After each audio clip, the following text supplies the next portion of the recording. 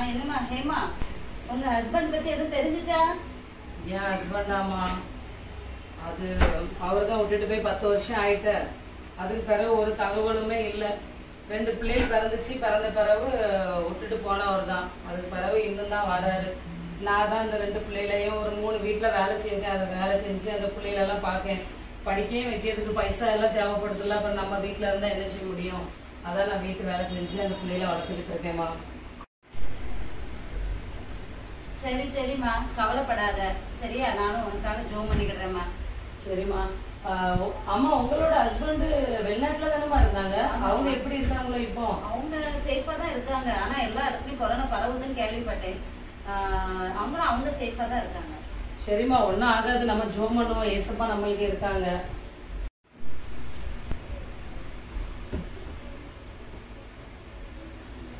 அம்மா வேலை முடிஞ்சிச்சுமா நான் போயிட்டு வரேன். சரிம்மா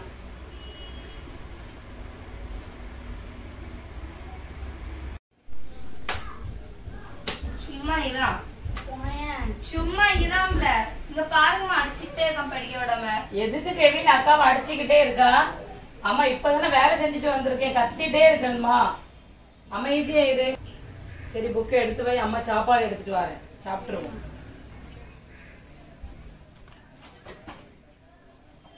என்னம்மா நீங்க எல்லா நாளும் இதே குடுறீங்க கஞ்சி. ஏதாச்சும் மட்டன் சிக்கன் ஏதாச்சும் கொடுங்க அப்படி சொல்லாத தம்பி அம்மாக்கு சம்பளம் அப்புறம் எல்லாம் வாங்கி கொடுப்பாங்க. கெவின் இப்ப லாக்டவுனா இருக்கலாம் கெவின். அம்மாக்கு சம்பளமே வரல. அம்மாக்கு சம்பளம் வந்த உடனே அம்மா உனக்கு மட்டன் சிக்கன் எல்லாம் வாங்கி தருவேன். நீ டெய்லி நல்ல ஜோம் பண்ணி ஏசப்பா எங்களுக்கு சம்பளம் அம்மாக்கு கிடைக்கணும்னு சொல்லி ஜோம் பண்ணு ஏசப்பா நம்மளுக்கு தருவாங்க. சரியா? சாப்பிடுங்க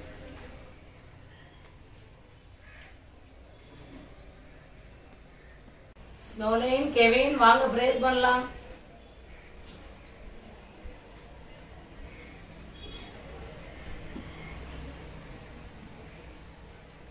தம்பி ப்ரேயர் பண்ணுமா? சரிம்மா. எஸ்பா எஸ்பா இந்த நாலு நாள் கத்திங்களே இருக்கு நன்றி ஏசுப்பா எஸ்பா எங்க அம்மாவுக்கு சம்பளம் வரணும் ஏசுப்பா ப்ளீஸ் எஸ்பா. எங்களுக்கு சிக்கன் மட்டன்லாம் சாப்பிடணும் ஏசுப்பா ப்ளீஸ் எஸ்பா. எஸ்பா ப்ளீஸ் எஸ்பா. ஏசு நல்ல பிதாவே. ஆமே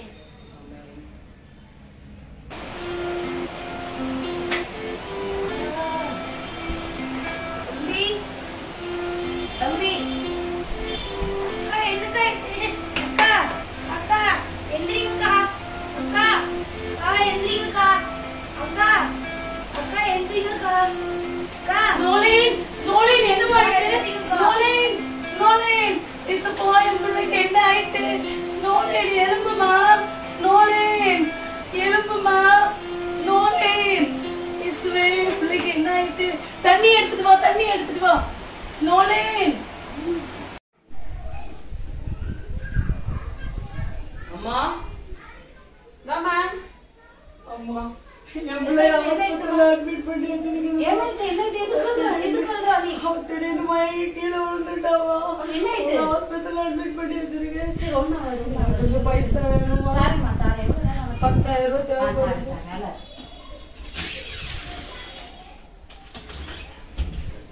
இதுல பத்து? நீ? ஆ, நானும் ப்ரேயர் பண்ணிக்கிறேன் உனக்கு.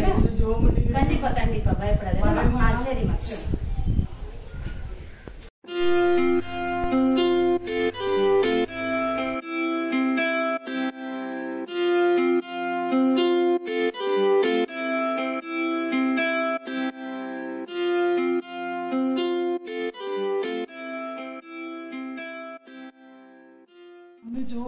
ரிப்போர்ட் என்ன வந்திருக்கு doctor one second sister report பண்ணுங்க ஜோவிடாங்க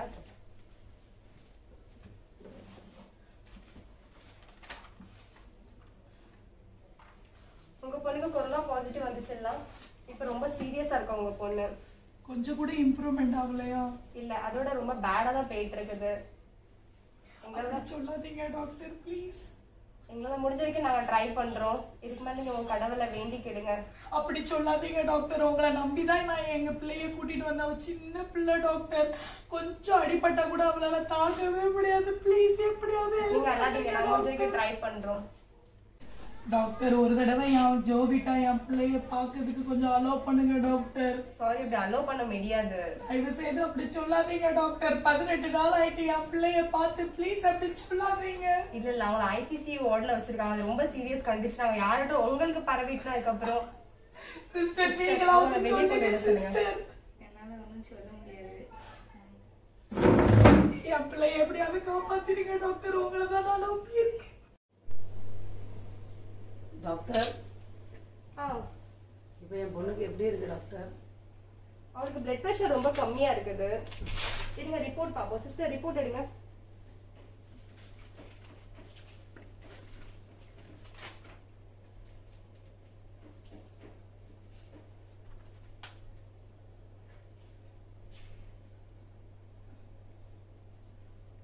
உங்க பொண்ணுக்கு ரத்தம் ரொம்ப கம்மியா இருக்கு உடம்புல.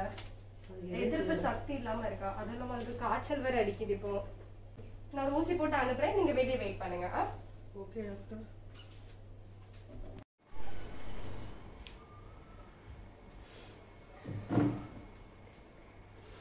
சிஸ்டர் எதுக்காக இப்படி அழுதுட்டு இருக்கீங்க சிஸ்டர் எனக்கு பன்னெண்டு வயசுல ஒரு பிள்ளை இருக்கு ஹாஸ்பிட்டல்ல சேர்த்து உடம்பு சரியில்லைன்னு காய்ச்சல் உடம்பு சரியில்லைன்னுக்கா எல்லா டெஸ்ட் எடுத்தாவே எல்லாமே நார்மல் வந்துட்டு.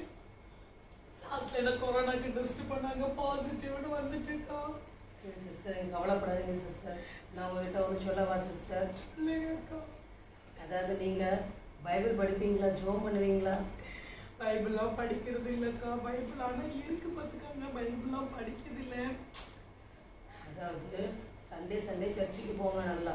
இப்போ நான் சொல்லுதேன். போக மாட்டோம்க்கா கிறிஸ்மஸ் அன்னைக்கு நியூ இயர் அன்னைக்கு மட்டும்தான் சர்ச்சுக்கு போவோம் சரி நீங்க கவலைப்படாதீங்க சிஸ்டர் நீங்க டெய்லி ஜோம் பண்ணுங்க நல்லா பைபிள் படிங்க சிஸ்டர் நீங்க ஜோம் பண்ண ஜோம் பண்ண ஏசப்பா ஒரு பெரிய மாற்றம் உங்களுக்கு கொடுப்பாங்க உங்க பிள்ளைக்கு நல்லா சரியாயிரும் நீங்க இப்படி டென்ஷன் எடுக்காதீங்க பைபிள்ல கூட ஒரு வசனம் சொல்லுது ஆபத்து காலத்துல என்னை நோக்கி கூப்பிடு நான் உன்னை விடுவிப்பேன் நீ என்னை மகிமைப்படுத்துவாய்னு ஒரு வசனம் இருக்குது அதனால நீங்க டென்ஷன் ஆகாதீங்க. இன்னையில இருந்து பாருங்க நல்லா ஜோம் பண்ணுங்க.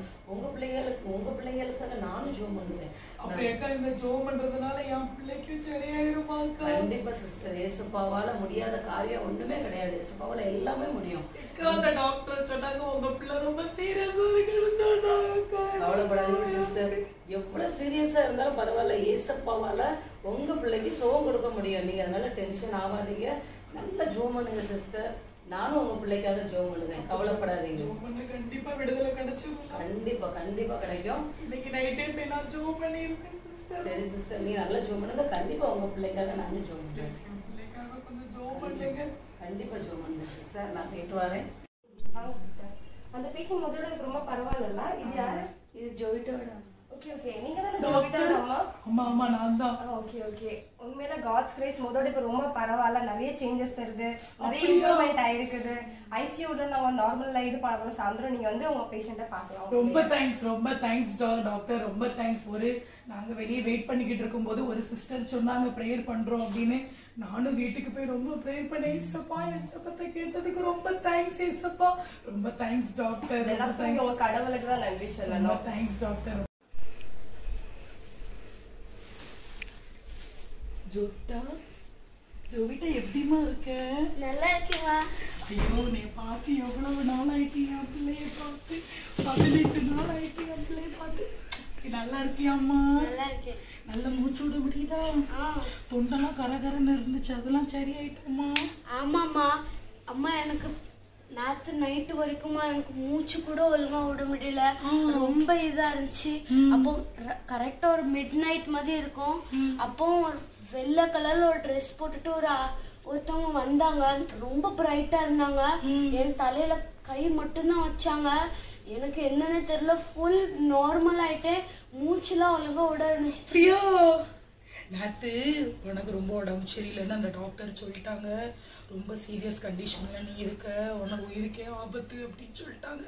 எனக்கு ரொம்ப கஷ்டமாயிட்டு நான் அந்த வெயிட்டிங் வெயிட்டிங் ரூம்ல இருந்து தான் நான் ரொம்ப அழுதுட்டே இருந்தேன். அப்போ ஒரு சிஸ்டர் தான் வந்து சொன்னாங்க உங்களுக்கு பைபிளில் உள்ள வசனம் தெரியுமா? ஆபத்து நாளில் என்னை நோக்கி நீங்கள் கூப்பிடணும் அப்படின்னு வசனம் இருக்கான். அதெல்லாம் சொல்லி நான் ப்ரேயர் பண்ணேன். நேற்று நைட்டு ரொம்ப உனக்காக ப்ரேயர் பண்ணேன். விண்ணப்பத்தை கேட்டு இசப்பாக்கு கூடா கொடி சோத்திரம். ஜோவிட்டா வீட்டில் மூணு நாலு பைபிள் வச்சுருக்கோம். என்னைக்காவது பைபிள் படிச்சிருக்கோமா அம்மா இனிமேல் டெய்லி பைபிள் படிப்போம். என்னம்மா?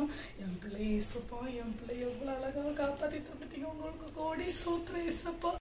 அம்மா நம்மள எப்பமா வீட்டுக்கு விடுவாங்க? இப்போ நீ நார்மல் வார்டுக்கு ஷிஃப்ட் பண்ணிட்டாங்களாமா? எப்போ வேணாலும் உன்னை டிஸ்சார்ஜ் பண்ணலாம். ஆப்பிள் சாப்பிடுமா நீ? நீங்க ஜோவிட்டாக்கு அம்மா தானே? ஆமா சிஸ்டர் உங்களுக்கு நாளைக்கு டிஸ்சார்ஜ் ஆயிரும். அப்படியா? சரி ஓகே ஸ்னோலின் அவங்களுக்கு எப்போ டிஸ்சார்ஜ் அவங்களுக்கும் நாளைக்கு தான். சரி ஓகே அம்மா ஸ்னோலின் யாருமா நீ உனக்கு ரொம்ப உடம்பு சரியில்லாம சீரியஸா இருக்கும்போது ஸ்னோலினுக்கு அம்மா தான் அந்த மாமி தான் எனக்கு ஏசவை பத்தி சொன்னாங்க. ஓ அப்போ ஸ்னோலினுக்கு மம்மி தான். ஆமா ஆமா. அம்மா நேற்று அந்த மம்மி தான் மம்மி. ஒரு மூணு நாலு பேருக்கு கால் அடிச்சு பைசான்னு சொல்லிட்டு இருந்தாங்க. ஆனால் அவங்களுக்கு பைசா கிடைக்கல மம்மி. அதனால ரொம்ப அழுதுட்டு இருந்தாங்க மம்மி. நம்ம ஹெல்ப் பண்ணலாம் மம்மி. கண்டிப்பா போய் ஹெல்ப் பண்ணும். சிஸ்டர் சொல்லியிருக்காங்கல்ல நாளைக்கு டிஸ்சார்ஜ் அப்போ இன்னைக்கு எப்படி பைசா கட்டிடுவேன். அப்போ ஸ்னோலினுக்கும் எவ்வளோன்னு சொல்லி நான் பைசா கட்டிடுவேன். சரியாம்மா மேடம் ஜோபிகா பேஷண்ட்க்கு எவ்வளோ பில் வந்திருக்குன்னு லைட்டாக பார்த்து சொல்லுங்களேன். ஒரு நிமிஷம். ஜோவிட்டாக்கு one lakh forty eight thousand வந்துருக்கு. அப்படியா? லைட்டா அந்த ஸ்னோலிங் பேஷண்ட்க்கு டீடைல்ஸும் இருக்கும். அதுவும் கொஞ்சம் எவ்வளவு பைசா கட்டணும்னு சொல்லிடுங்க ஸ்னோலினுக்கு ஃபிஃப்டி ஒன் தௌசண்ட் கேட்டாங்க. அப்படியா? சரி ஓகே இது வந்து ஜோபிட்டாக்கு இது வந்து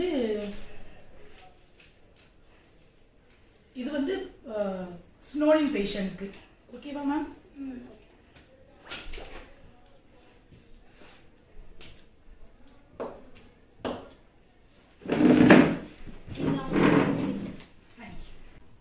ஏசப்பா நான் டெய்லி ப்ரேயர் பண்ணுறேன் டெய்லி பைபிள் படிக்க ஏசப்பா.